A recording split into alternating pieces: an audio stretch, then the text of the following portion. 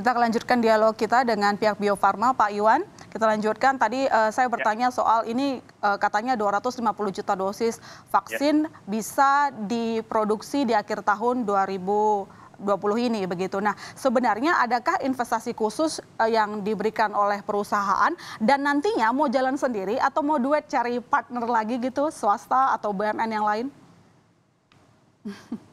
Ya, kalau untuk uh, kapasitas Eh, produksi sejumlah 250 itu eh, sudah kita bisa lakukan sendiri mbak dan memang untuk produsen vaksin itu kan di Indonesia satu-satunya kita ya jadi hmm. artinya artinya kita tidak ada partner lain yang bisa untuk melakukan produksi vaksin di Indonesia bahkan di Asia okay. Tenggara pun kita kan apa namanya tuh uh, yang terbesar gitu ya.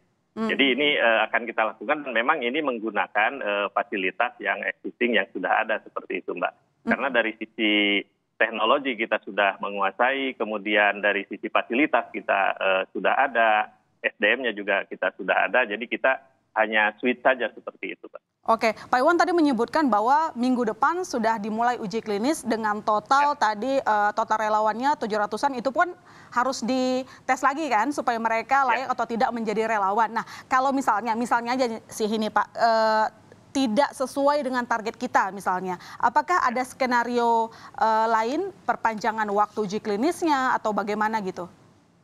Uh, uji klinis itu kan tidak sekaligus ya di, harus disuntikan dalam waktu yang uh, satu hari sejumlah mm -hmm. 1620 kan tidak seperti itu. Mm -hmm. Yang terpenting nanti monitoringnya kan selama enam bulan. Artinya kalau mulai minggu depan baru ada uh, taruhlah 700 ada sat, atau sat, uh, ada 1000 gitu kan.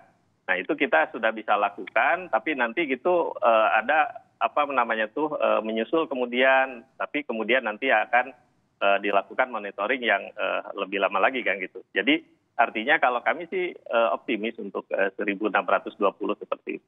Oke, artinya optimis gitu lah ya, nggak ada second yeah. uh, apa opsi gitu. Nah, uh, gini sih Pak, kalau misalnya uh, kita lihat nanti uh, tes uji vaksinnya tidak sesuai dengan harapan, misalnya kita tidak uh, meragukan yeah. sebenarnya, tapi kalau itu terjadi, nah uh, apa nanti opsi yang lain, rencana yeah. lainnya? Memang betul uh, yang namanya uh, uji itu kan kita harus uh, apa itu tidak ada ada ada kemungkinan juga gagal. Jadi artinya kita sudah harus hmm. antisipasi. Yang namanya pengujian itu kan ada ada go or no go-nya gitu kan, ada gagal yang tidak. Nah, itu kalaupun itu terjadi kita kan sudah uh, ada yang uh, kita lakukan atau kita strategi yang uh, kita sebutkan dengan uh, long term strategi. Nah itu yang kita lakukan dengan konsorsium nasional. Kita sedang melakukan juga penelitian bersama dengan uh, lembaga biomolekular uh, Eijkman itu dengan lembaga-lembaga penelitian lainnya yang kita sebut dengan uh, vaksin merah putih. Nah meskipun itu memang ada jeda waktu atau ada gap waktu ya yang itu masih jangka panjang itu yang kita ini kan apa itu yang akan kita hasilkan itu masih agak panjang gitu. Oke, artinya... nah, itu salah satu mm -hmm. salah satu antisipasi kalau misalnya ini juga uh, terjadi kegagalan seperti itu, Mbak. Oke, artinya ada opsi bahwa nanti mungkin kerjasama dengan Biovaknya tidak diperpanjang kalau gagal kalau. Iya, iya. Tentunya kalau gagal kita tidak bisa pakai uh, hmm. vaksin itu tidak bisa pakai kalau hmm. kalau gagal ya. Iya. Hmm. Berarti nanti targetnya untuk tambahan kerjasama yang lainnya uh, sudah siapa yang dibidik, Pak?